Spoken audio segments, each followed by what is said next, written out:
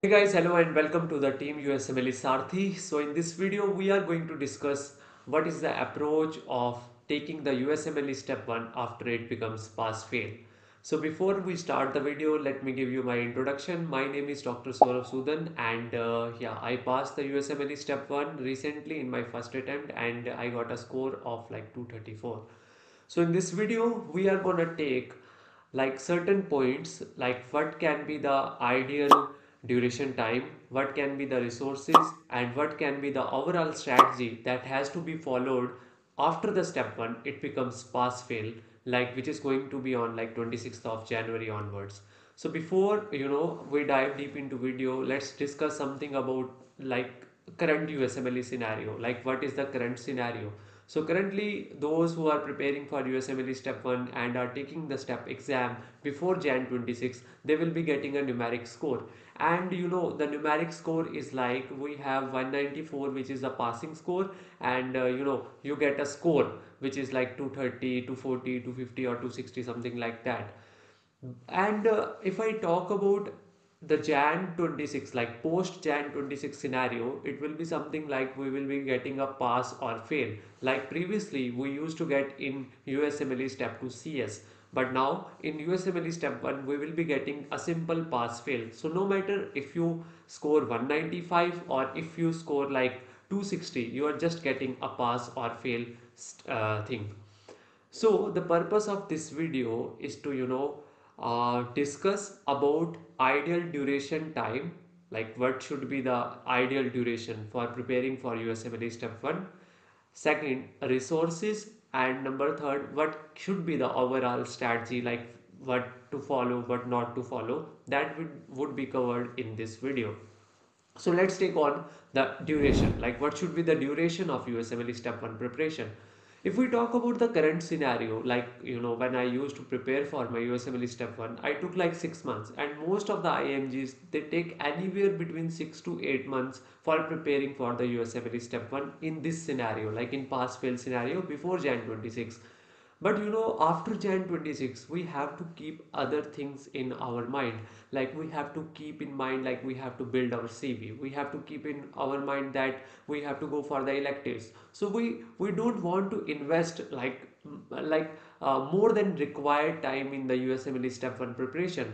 For that I would suggest that, rather, our team would suggest that we have to, you know, take the step one in like two to four months, and this two to four months would be the ideal time to take the USMLE step one, so that after you know taking it and uh, ensuring that you pass the step exam in your first attempt, you can focus on other things like step two prep your university exams which would be going side by side your cv building your research and other things so that you know you can have a overall overall good profile. Number second is you know what are the resources that you should be used for preparing for the usmle step 1 so earlier when it used to be you know numeric or currently when it is numeric actually uh, there are so many resources like you have like if we talk about even biochemistry we have like pixorize we have first aid we have kaplan's. For micro we have sketchy we have you know first aid we have clinical microbiology made ridiculously simple and stuff like that. So there are so many resources and uh, uh, students including me they used to you know consult multiple resources even anki and stuff like that so that we leave no stone unturned uh, before you know taking the uh, step exam. But in this current scenario like after it becomes pass fail we have to ensure that we stick to minimum resources so that we can we give minimum amount of time and we can you know easily pass the exam so regarding the resources i would suggest that you have always to stick with the resources that everyone use in the dedicated period which are the UFAP, the UWorld, First Aid and Pathoma. These are the resources which have to be you know used. Now if i talk about you know what strategy like what should we you know do while we are in our dedicated phase for you know usmle step 1 how should our approach be like so i would recommend that you know you should first master the first aid. You know mastering the first aid is very very crucial and uh, i can you know assure you even i can uh, like guarantee you that if you uh, go on reading first aid in a very you know very um, like uh, a religious manner or you know holistically you if you review the first aid you are gonna ace the exam very easily because you know even people they used to get like 250s 260s only you know referring to first aid and UWorld. And this is matter of you know passing the exam. So i can assure you that if you read the first aid properly you are gonna pass the exam very easily. So the idea should be in your dedicated like let's say you have you know given yourself a time slot of like 2 to 4 months you should start from first aid. You should start reading first aid. And you know like there are some sections of the first aid which need to be you know augmented with other books. Like for example if i talk about pathology if you have time like if you have like good amount of time between those two to four months like you are uh, wholly solely you know into this USMLE step 1 preparation I would say that you can augment the pathology part with pathoma. If I talk about the physiology part of you know first aid uh, the physiology is written in a very nice and concise manner in the first aid and uh, that is what is to be asked you know in the USMLE step 1 examination. But there are some sections of physiology like you know uh, cardiology I would say cardiovascular physiology and uh, renal physiology which are you know a little bit trickier. And if you uh, need uh, some kind of consultation you can refer to boards and beyond. It is really a good resource. But i would suggest that you should only restrict yourself to reading physiology of cardiovascular system and renal from that boards and beyond resource.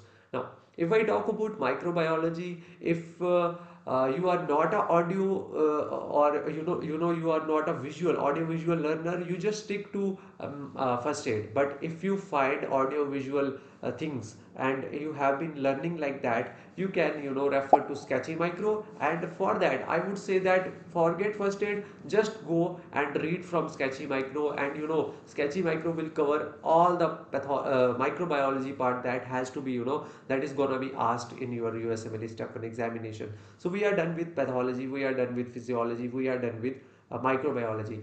Regarding anatomy anatomy is gonna be uh, straightforward from the uh, your first aid. Whatever the ct images whatever the x-rays are given in the first aid make sure that you go through them in a very good manner and also consult the google images for that. This is the anatomy part. Regarding the biochemistry it would be asked from you know your first aid. You you need to you know review first aid only for that thing. No need to you know consult other resources.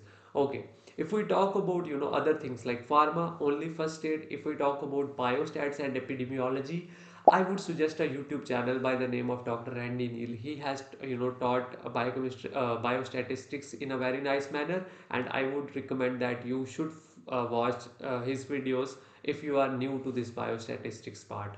And um, yeah, remaining things are like uh, we have covered path we have covered pharm we have covered micro we have covered uh, biochemistry we have covered anatomy we have covered physiology. And uh, yeah this is what it is if we talk about the first aid.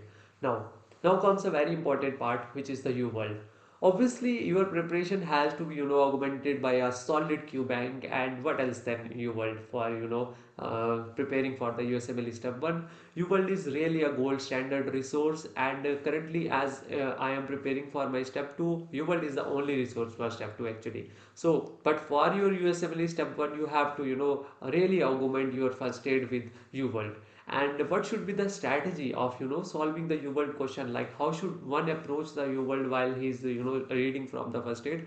I would you know give you a really uh, nice uh, approach which I followed and it worked for me. I would say that you know let's say you are you are in your dedicated and you are done with two chapters. Let's say cardiovascular system and endocrine you have done. Now I would say that okay now go and buy the U world. Once you buy the U world always approach it in during your first part approach it in a tutor mode.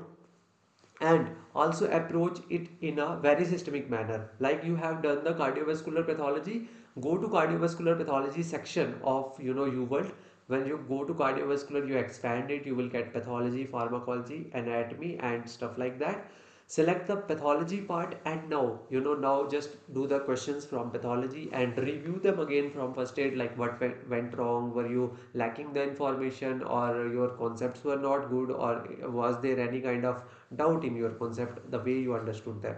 That is how you approach the u world. And the overall strategy would be like going through the u world simultaneously you know reading from the first aid going through the u world and you know just taking two to three months and you know covering the first pass of the u world. That is how you do it. Okay. After like let's say you know after three and a half month let's say after three and a half month you are done with your u world. I would say that this is the time that you should dedicate because you should know that you are you know you are just uh, giving this exam to pass it there there will be no score. So there is uh, there is no no such thing that you are getting 62% in your first pass and you would you know be in disappear or any kind of stuff like that that no i i should prepare it again and no you you should not do like that. Just look at that uh, like your first pass give the u world first assessment. If you pass the exam you are good to go for the exam after like one or one and a half week give the u world self assessment second. If you pass that you are good to go. Just go to exam pass the exam and you are done with your step one and you are ready to go to the other steps like step two and you know other things. So this is the approach. And a little bit in the end of the video i will just give an idea regarding how to you know uh, divide your day. I would say that don't you know dwell on just one thing during your whole day divide it. Like let's say you know if you divide your day into three slots let's say first slot is from uh, 9 a.m in the morning till 2 in the afternoon give it to one subject let's say micro. Then from 2 to 8 give it to another subject let's say you know cardiovascular. Then from 8 to 9 let's say you have dinner or something like that. From 9 to 12 or 1 whenever what whenever you like uh, whenever is your time you know when you go to sleep. So that time you can you know assigned to some other subject. So that is how you know you approach uh, the overall thing. That is the first aid the u world and the overall strategy. So this was all in today's video. I hope that you like this video.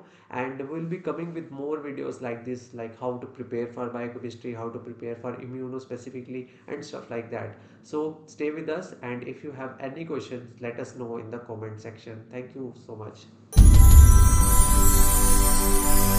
You.